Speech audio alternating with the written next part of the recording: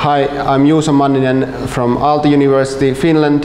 Uh, I have a background in theoretical physics mainly, so I came to the Cryocourse to learn about experimental methods in uh, low temperature physics. And in terms of that knowledge, this uh, uh, has been very informative.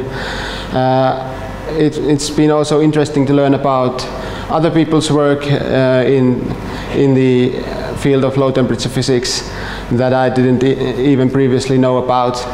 And I'd also like to thank the organizers for uh, to, for getting to every, everything run very smoothly here. So, thank you.